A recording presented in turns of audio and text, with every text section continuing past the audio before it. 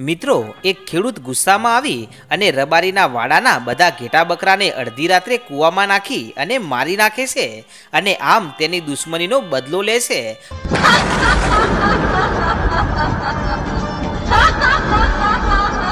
પણ ત્યારે મારી ગઢ પાવાની કાળકા આવી અને પછી જે ઇતિહાસ રચે છે, તો મિત્રો ખરેખર કાળજા કંપી જાય તેવી સત્ય ઘટના છે, તો ચાલો તેને વિસ્તારથી જોઈએ.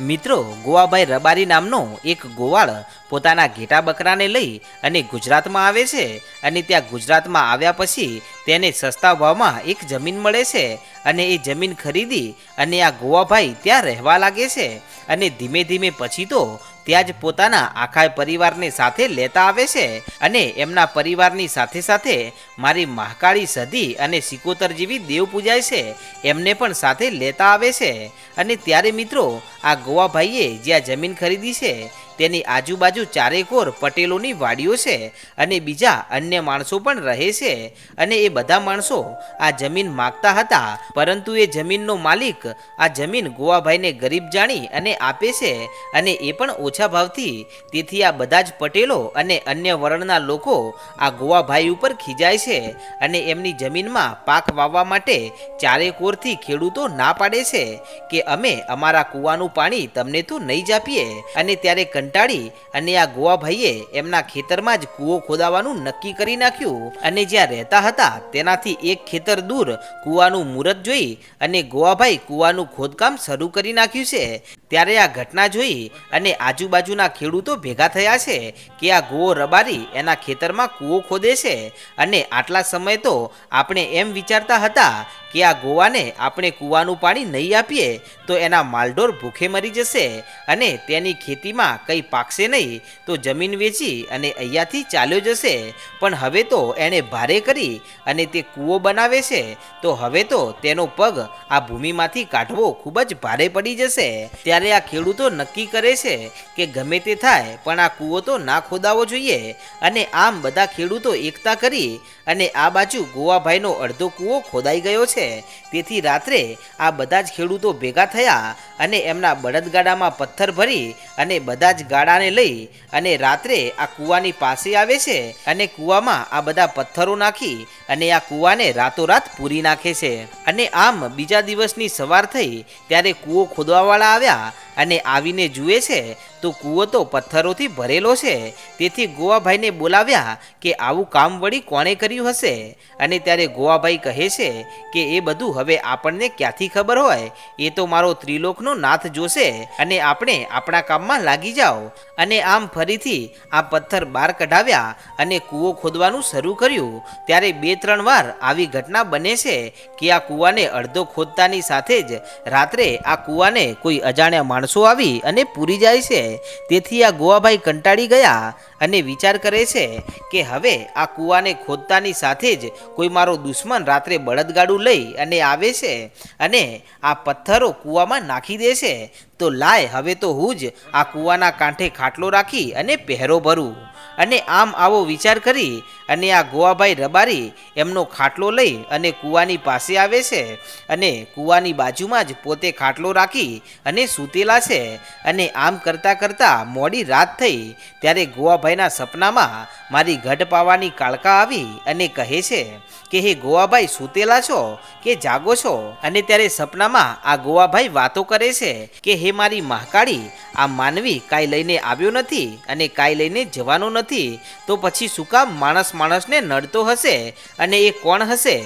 અને ત્યારે મારી ગઢ પાવાની કાળકા કહે છે કે, હે ગોવાભાઈ, એ બીજું કોઈ નથી. પરંતુ તમારી ખેતરની આજુબાજુમાં જે વાડીઓ લઈને બેઠા ને, એ ખેડૂતો જ છે. અને આ જમીન એમને જોઈતી હતી, પરંતુ એમને મળી નથી. એટલે એ તમારો કૂવો ખોદવા નથી દેતા. કેમ કે એકવાર કૂવો ખોદાઈ ગયો, તો તમે અહીંયાથી જવાના નથી એટલા માટે. અને ત્યારે ગોવાભાઈ કહે છે કે, હા માડી, હવે મને ખબર પડી ગઈ કે મારા દુશ્મન કોણ છે. અને ત્યારે માતા મહાકાળી એટલું બોલ્યા કે, ગોવાભાઈ, તમે તાર અહીંયાથી ઊભા થાઓ અને તમારો ખાટલો લઈ અને ઘરે જઈને સૂઈ જાઓ અને એકવાર આ કૂવાનો પહેરો ભરવા માટે મને મહાકાળીને હુકમ તો કરો અને પછી જુઓ, તમારા કૂવામાં પથ્થર નાખવા વાળાનો જો સવારે દિવસ ઉગવા દઉં, તો મને મહાકાળીને ફટ કહેજો બાપ.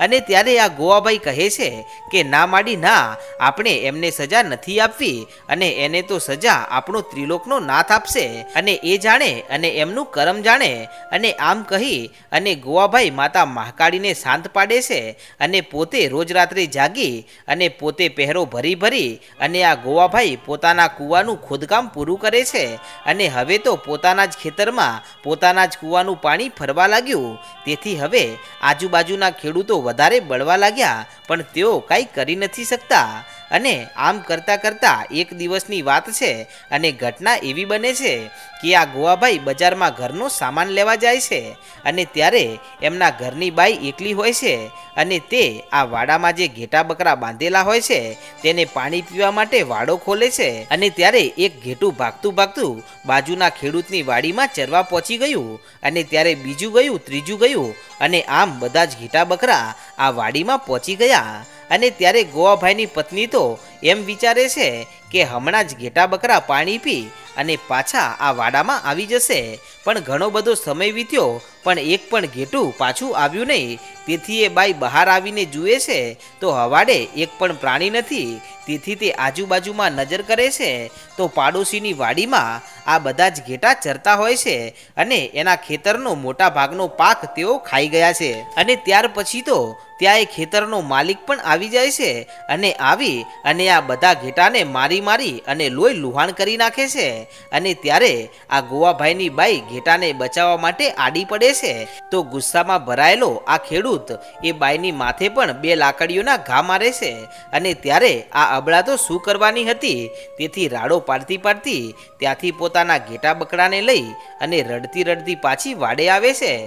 અને વાડામાં પોતાના માલઢોરને પૂરી અને લમણે હાથ દઈ અને બેઠી બેઠી એકલી રડે છે. અને ત્યારે થોડો સમય વીત્યો અને આ ગોવાભાઈ બજારમાંથી ઘરે આવે છે.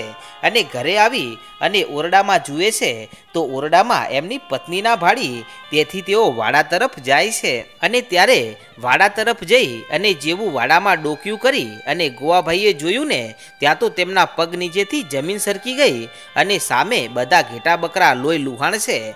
અને એમની બાઈ પણ લમણે હાથ દઈ અને બેઠી છે અને એના પણ માથામાંથી લોહી વહી રહ્યું છે. અને ત્યારે આ ગોવાભાઈ આવીને કહે છે કે, અરે ગાંડી, શું થઈ ગયું? ત્યારે પોતાના સ્વામીને આવેલા જોઈ અને આ બાઈ ફરી પોક મૂકીને રડવા લાગી અને ત્યાં બનેલી સમગ્ર ઘટના તેઓ તેમના ધણીને જણાવે છે.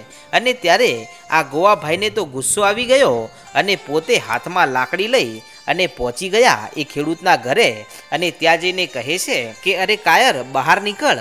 અને બૈરા ઉપર શું હાથ ઉપાડે છે? અને તારામાં એટલી હિંમત હોય અને તું મરદ માણસ હોય ને, તો આવી જા મારી સામે લડવા. અને તમે આમે મારા ઉપર તો બળો જ છો. અને એટલા માટે તો તમે મારા કૂવામાં પથ્થર નાખતા હતા. પણ આજે તમે મારી પત્નીને મારી અને ખૂબ જ મોટી ભૂલ કરી છે. અને ત્યારે પેલો ખેડૂત પણ બહાર આવે છે અને બંને વચ્ચે ઘણી હાથાપાઈ થાય છે. અને પછી ત્યાં આડોશ પાડોશના ભાઈઓ આવી અને આ બંનેને જુદા પાડે છે. ત્યારે પેલો ખેડૂત પણ માથા ભારે હતો, તે કહે છે કે તારા એક પણ ઘેટા બકરાને હું જીવતા નહીં રાખું, કારણ કે એમણે મારા ખેતરનો પાક બગાડ્યો છે. અને ત્યારે આ ગોવાભાઈ પણ કહે છે કે તમે મારા કૂવામાં આવી અને શું મારા કૂવાનું કામ નહોતા બગાડતા? અને આ તો અબોલા પ્રાણી છે, એમને થોડી ખબર છે. અને ત્યારે આ ગોવાભાઈનું આટલું કહેતાની સાથે તો પેલો ખેડૂત કહે છે કે હવે તારામાં હિંમત હોય તો તારા ઘેટા બકરાને બચાવી લેજે. અને ત્યારે ગોવાભાઈ પણ કહે છે તારામાં જો એટલી ત્રેવડ હોય ને તો લગાવી જોજે. હવે મારા માલઢોર ઉપર હાથ. અને પછી તો બંનેને ત્યાંથી લોકો છૂટા પાડે છે અને આ ગોવાભાઈ પોતાના ઘરે આવે છે અને ઘરે આવી અને આજે એમની પત્નીના માથામાં વાગેલું છે. તેથી તેઓ કૂવા ઉપર સૂવા માટે જતા નથી, પણ ઘરે જ એમની પત્નીની સેવા કરવા માટે રોકાઈ જાય છે. ત્યારે આ બાજુ આ ખેડૂતને આજે તેનો ગુસ્સો શાંત પડતો નથી કે એક તો એના ઘેટા બકરા મારા ખેતરનો બધો પાક ચરી ગયા તો પણ મારા ઘરે આવી અને લાકડી લઈ અને મને મારી ગયો છે. તેથી આ ખેડૂતનું મગજ આજે કામ કરતું નથી. ત્યારે એ માણસ અડધી રાત્રે એક દેશી દારૂની ભઠ્ઠીએ પહોંચી જાય છે અને ત્યાં જઈ અને પહેલાં તો ધરાઈને દારૂ પીવે છે અને દારૂ પીધા પછી તેનો ગુસ્સો વધી ગયો અને તે પછી ડર્યા વગર પહોંચે છે. આ ગોવાભાઈ રબારીના કૂએ અને ત્યાં અડધી રાત્રે એ વાડામાં જઈ અને જ્યાં ઘેટા બકરા પૂરેલા હતા તેમને ઉપાડી ઉપાડી અને આ માણસ કૂવામાં નાખવા લાગ્યો કે તમારા લીધે મારા ખેતરનો પાક ખરાબ થઈ ગયો છે.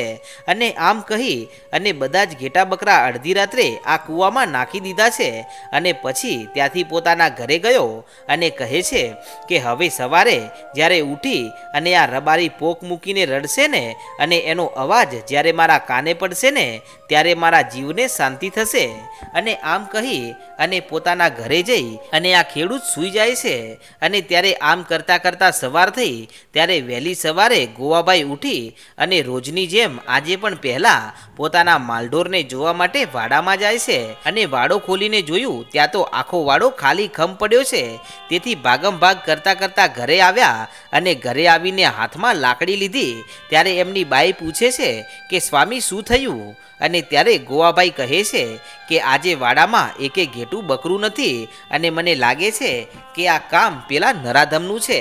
અને ત્યારે એમની બાઈ કહે છે કે, હે સ્વામી, સીધે સીધા એમ આપણે કોઈને ના કહેવું જોઈએ અને કદાચ અડધી રાત્રે વાડો ખુલ્લો રહી ગયો હોય અને કદાચ રાતોરાત આપણા પ્રાણીઓ નીકળી ગયા હોય બીજા ગામમાં. એટલે તમે એક કામ કરો, પહેલાં તો આજુબાજુના ગામમાં તપાસ કરો અને ક્યાંક ત્યાં જ આપણા ઘેટા બકરા મળી જાય. અને ત્યારે આ ગોવાભાઈ ચિંતામાં ને ચિંતામાં લાકડી લઈ અને ભાગતા ભાગતા નીકળી જાય છે. ત્યારે સામે ખેતરમાં ઊભો ઊભો આ પાપી ગોવાળને જોઈ અને હસે છે કે હવે તને ખબર પડશે કે મારી સામે પડી અને તે કેટલી મોટી ભૂલ કરી છે.